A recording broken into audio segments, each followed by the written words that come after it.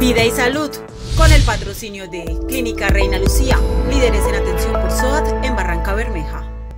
El último informe de la Secretaría de Salud, entregado el lunes 8 de febrero, anunció que 688 son los casos activos, lo cual 12 son las personas hospitalizadas, 55 en UCI y 621 están en sus hogares. Además, se confirma el fallecimiento de un hombre de 76 años de edad, mientras que 21 pacientes lograron recuperarse de esta enfermedad. Por ello, se le informa nuevamente a la comunidad barranqueña usar de manera correcta el tapabocas y obedecer a las medidas establecidas por el distrito para contener el virus.